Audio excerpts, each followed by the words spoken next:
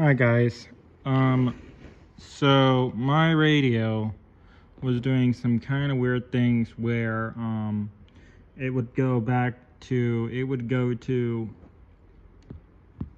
factory default mode which is setup mode to program the radio and I had that happen a few times. Um uh, I think it's mainly because of the bad batteries that was in it.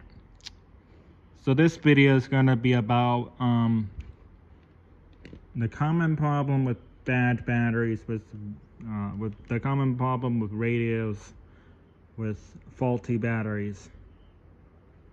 Um, so anyway, here's At 2 p.m. at the Lawrenceville I Airport, changed out the two, but I need to change out the other the one too. So 88 degrees.